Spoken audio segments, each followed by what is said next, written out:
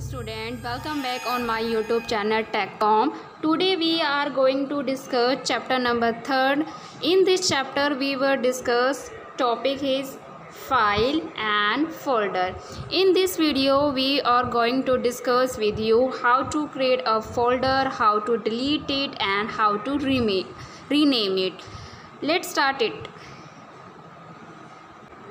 First a contents layout with list. Here contents ले layout दिए हुए हैं कि एक फ़ोल्डर को क्रिएट कैसे करना है? दैट मीन्स आप एक फ़ोल्डर को क्रिएट कैसे करोगे? By using a mouse and by using a shortcut key and delete a folder इसके लिए भी सेम मेथड फॉलो होंगे। By using mouse and by using shortcut key rename folder folder rename करने के लिए भी सेम प्रोसीजर है। By using mouse and by using shortcut key let's start how to create a folder by using mouse and by using shortcut key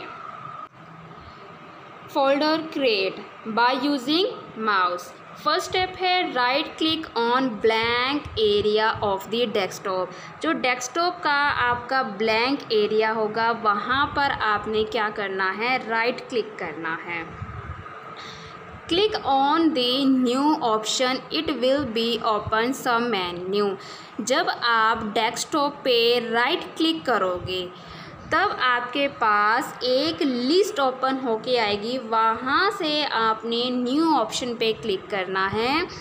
new option पे click करने के बाद आपने फोल्डर ऑप्शन पे क्या करना है? क्लिक करना है। दैट मीन्स न्यू ऑप्शन पे क्लिक करने के बाद आपके पास एक फर्दर फ़ाइल ओपन होगी। फर्दर मेन्यू ओपन होंगे। उसमें से आपने फोल्डर ऑप्शन पे क्या करना है? क्लिक करना है।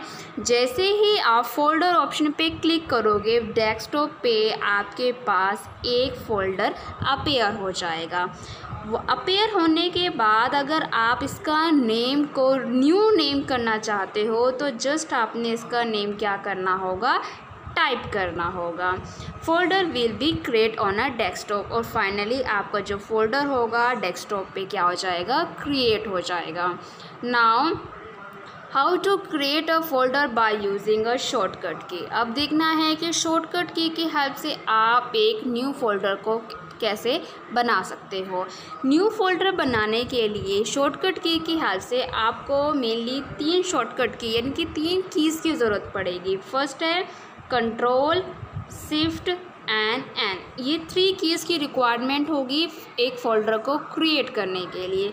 सो so, आपने इन थ्री कीज़ को इकट्ठा प्रेस करना है control plus shift plus M. इन तीन की को जब आप इकट्ठा प्रेस करोगे तभी आपका डेस्कटॉप पे एक न्यू फोल्डर क्या आ जाएगा? बनकर आ जाएगा।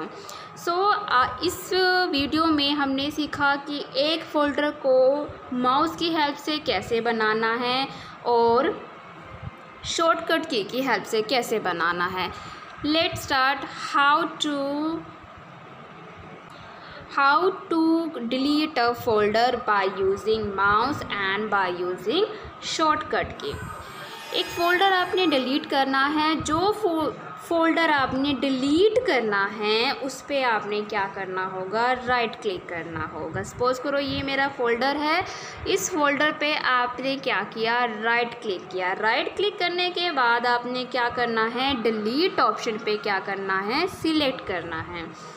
जैसे ही आप डिलीट ऑप्शन पे सिलेक्ट करोगे, तब आपके पास एक डिलीट क्या हो जाएगा? फोल्डर अपेयर होगा। दैट मीन्स एक डिलीट फोल्डर की विंडो अपेयर होगी, जहाँ से वो आपको पूछेगा कि इस फोल्डर को क्या आपने डिलीट करना है या नहीं। अगर आप ने इस फोल्डर को डिलीट करना है तो देन आपने क्या करना होगा? येस बटन पे क्या करना होगा? क्लिक करना होगा, तभी आपका क्या हो जाएगा? फोल्डर डिलीट हो जाएगा। नाउ, अब आपने देखना है कि एक फ़ोल्डर को कैसे डिलीट करना है? बाय यूजिंग शॉर्टकट की। जो भी फ़ोल्डर आपने क्या करना है डिलीट करना है नॉर्मल सी बात है, उसको सबसे पहले क्या करोगे आप? सिलेक्ट करोगे। जब आपका सिलेक्ट हो जाएगा तो कीबोर्ड से आपने क्या करना है? डिलीट की को क्या करोगे आप? प्रेस करोगे। जब आप डिलीट की को प्रेस कर लोगे तो क्या हो जाएगा? आपका फोल्डर डिलीट हो जाएगा। नेक्स्ट है कि how to rename a folder एक फ़ोल्डर का रीनेम कैसे करना है, ये हम सीखेंगे। एक फ़ोल्डर को रीनेम करना है सेम वे है by using a mouse and by using shortcut की। अब है, कोई भी फ़ोल्डर है, किसी का भी रीनेम करना है फ़र्स्ट जो स्टेप रहेगा वो है आपका राइट क्लिक का। राइट क्लिक जब आप कर लोगे किसी भी फोल्डर पे, तब आपने क्या करना है रीनेम यानी कि एक लिस्ट ओपन होके आएगी, वहाँ से आपने रीनेम ऑप्शन पे सिलेक्ट करना है। जैसे ही आप रीनेम ऑप्शन को सिलेक्ट करोगे तो एक फ़ोल्डर के यहाँ पर जहाँ पर नेम लिखा होता है, वो क्या हो जाएगा आपका? हाईलाइट हो जाएगा। दैट मीन्स वो आपको अलाउ कर रहा है कि आप इसका नेम को क्या कर सकते हो? चेंज कर सकते हो, जो भी आपको क्या है, यहाँ पर टाइप करना है। अब बात करते हैं किसी भी फ़ोल्डर का रीनेम करना है बाय यूजिंग शॉर्टकट की। शॉर्टकट की के लिए नॉर्मल सी बात है, आपको F2 की प्रेस करनी होगी। लेकिन F2 की प्रेस करने से पहले उस फोल्डर को आपने क्या करना पड़ेगा? सिलेक्ट करना पड़ेगा। ओके स्टूडेंट इसमें हमने देखा कि एक फ़ोल्डर को रीनेम कैसे करते हैं।